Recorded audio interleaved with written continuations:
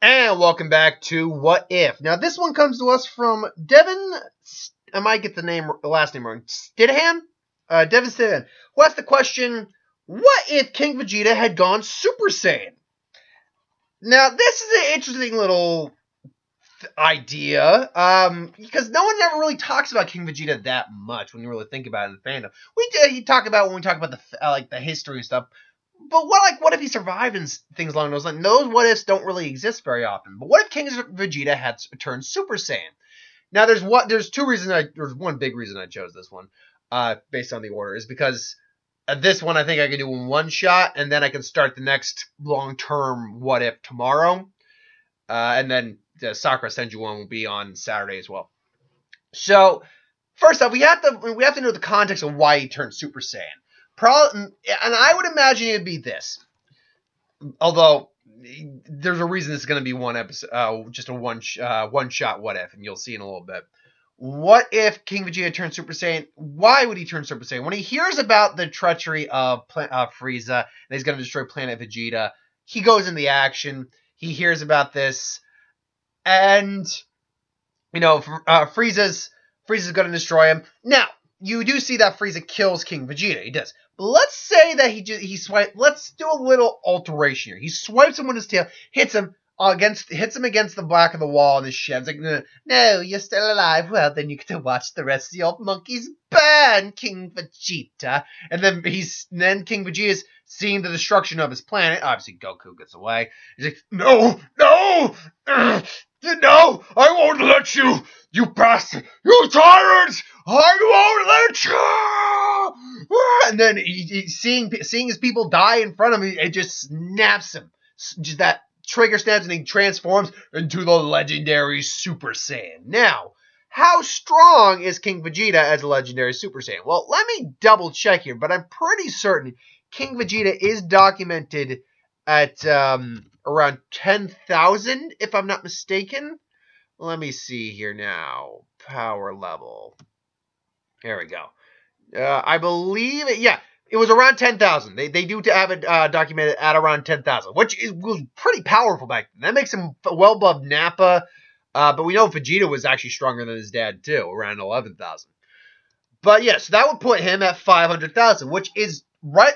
Which I believe, or relatively speaking, puts him around where what Vegeta was at when he fought Frieza the first time in the second in his first form, which means he, you know, he transforms, and they all say their scouters all break. Like, so, uh, uh, oh dear, Lord, uh, Lord Frieza, what is this? like, I don't know. Uh, boy, do you have you ever seen this? I've never seen a Saiyan do this in my life. But I don't, but I know it don't mean much. Come on, his hair just turned um, shiny.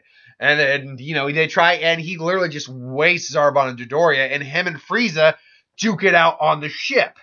And they're, they're wreaking havoc, havoc here. Now, unfortunately, the planet's still being destroyed, so that that's given. So Frieza takes out in space, and they remember they Saiyans they can they can survive in a vacuum. They can't breathe in a vacuum. There's the difference. There is that they can survive to, for a while in a vacuum, but they do need to breathe at some point. Frieza can breathe in space. So the fight continues, and he's pushing Frieza. Frieza's shocked. He's just going all out. Frieza has to go all out now because they Frieza has to go all out he is able to keep uh, uh, Vegeta at bay, King Vegeta at bay, but he's still is struggling. And, Power, all he has to do is wait. But Vegeta can honestly just go back to the ship and get some oxygen if he knows he has to get another breath of air. Uh, and I think Frieza would actually know this, but he, it's he would find a hassle to blow his ship up, so he actually has to go into his second form. And at that point, he kills King Vegeta. And now, the question is, does Frieza know about, or Vegeta know about this? Kid, uh, Prince Vegeta. No, because as they retconned it in Dragon Ball Super Broly, he was off planet at the time. So, and not even on uh, Vegeta's, or um, his ship at all. Um, uh, um, so, yeah, after that, nothing changes. Because what the, the only thing that um well oh, actually I'll take that back. I will take that back. Um this does instill a new kind of fear like an idea in the head of uh, Frieza about the Super Saiyan lore, and that is, like, oh, I killed your Super Saiyan. Yes, that's right, Vegeta. Your father became a legendary Super Saiyan, and I killed him. I killed him. I killed your monkey daddy. Which would be the what? No, that's, that's not impossible. You couldn't kill a Super Saiyan. That's impossible. It's like, oh, is it, Vegeta? Is it really? Uh, it's like let, uh, let me let me tell you a tale. Uh, and then he explains it, and Vegeta just try, and Vegeta rages out, but he can't go Super Saiyan, and nothing, and you know Frieza beats his ass. Goku shows up. Now Goku goes Super Saiyan. When he goes Super Saiyan, Frieza's not initially shocked. He's like, oh, p- please, his father did that, and I crushed his skull. I vaporized him. I painted my walls with his blood. You really think? And because of that, uh, unlike the last time where he was scared, he didn't know what to do with Goku he would actually underestimate Goku this time, and I think Goku might actually take the win uh, a lot easier than he did previously, or at least get a solid degree uh, more uh, damage. Like you get a lucky gut punch, you like you know bruised kidney and all that, and kidney, uh, kidney punch, kidney punch, and pause, kidney punch. So I think that would be another factor in it. It would also encourage Vegeta to maybe hit Super Saiyan a little faster, though I don't think that would ultimately play anything long term like change anything anyway. And ultimately, that's that's where the changes really cease. There's nothing that King uh, that King Vegeta turning a Super Saiyan would change about. Now it all depends on where you would have his change happen. Have it happen maybe a year before Frieza blows up the planet, give him time to change. That does change things maybe to some degree.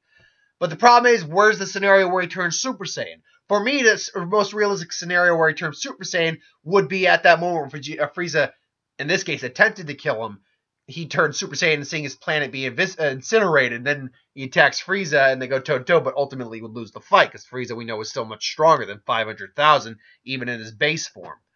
So ultimately, I, I God, that's where this what if ends. There's nothing long term that changes about the series, unfortunately.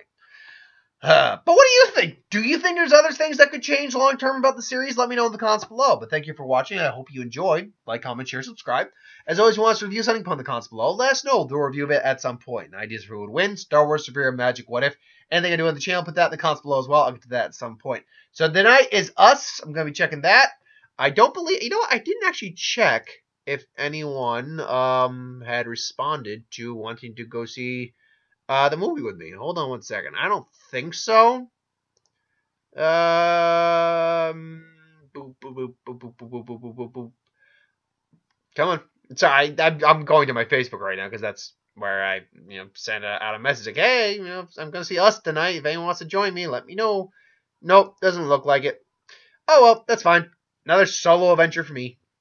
Anyway, I digress. So thank you. Uh, thank you for watching. I hope you enjoyed. Like, comment, share, subscribe. As always, wants to review something, put in the comments below. Let us know. We'll do a review of it at some point. I just would win. So I just went all over that. I had to double check that. So yes, I'm seeing us tonight. That's it for tonight. So thanks for watching. Hope you enjoyed, and I'll see you next time.